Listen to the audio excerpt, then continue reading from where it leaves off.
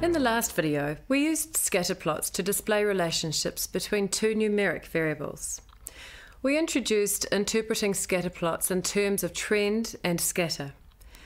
We also saw examples with obvious clusters of points, triggering the question why are these sets of individuals so different? But usually it is most useful to view scatter plots in terms of trend plus scatter with the occasional outlier. We'll start by looking at a range of trend plus scatter scatterplot behaviours. The focus is simply on experiencing some of the sorts of patterns that occur. Trend and scatter. Trend and scatter. Trend and scatter and two outliers. Trend scatter, and one outlier. We had a quick look at making predictions using a scatter plot in the last video, but now we're going to go more deeply into some of the issues involved. When should a doctor start worrying that a liver length is abnormal for a fetus of a given age? These are the gestational ages and liver lengths of 258 normal human fetuses, unborn babies, determined by ultrasound. Our outcome variable is the liver length, and the predictor variable is the gestational age of the fetus, which is an estimate of the time since conception.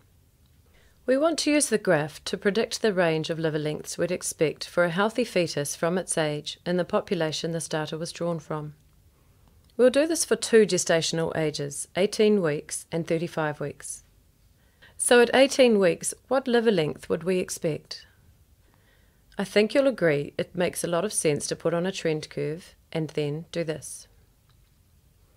It suggests the liver length should be about 21 millimetres. Doing the same thing at 35 weeks suggests a liver length of about 49 millimetres. But hang on a minute. When we look at the scatter, we see that there is a reasonable amount of variation in liver lengths of healthy 18 week olds, and a lot of variation in the liver lengths of normal 35 week olds. We clearly need to take that into account. Well, let's draw an envelope that includes almost all of the scatter. Now let's use that in the obvious way. This suggests that at 18 weeks the liver length of a healthy fetus would almost always be between 16 and 26 millimetres. At 35 weeks, we'd expect it to be between 35 and 62 millimetres. Beyond that range, the doctor might start worrying about the fetus's development. It's the trend curve and the scatter around that trend that has allowed us to do all of this. This simple example conveys many of the biggest ideas about the prediction problem, even though we've informally drawn the lines by eye. We can think of the trend here as a sort of summary of the strongest pattern in the data.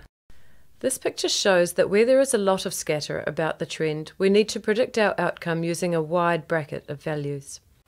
Where the scatter is small, our range of predicted values will be much narrower and probably more useful.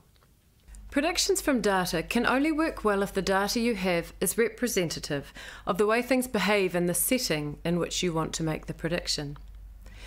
Data collected from major London hospitals is unlikely to work well for predicting fetus development in the poorer regions of India, for example, because fetuses there will be much smaller.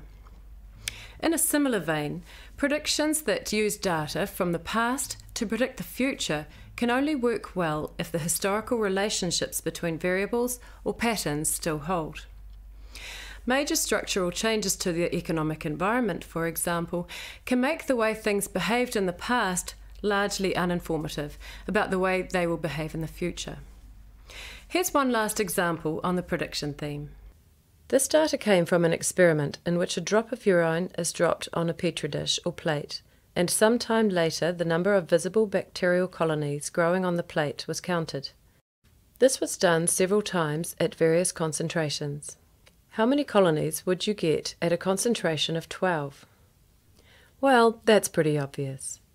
It should be about 40.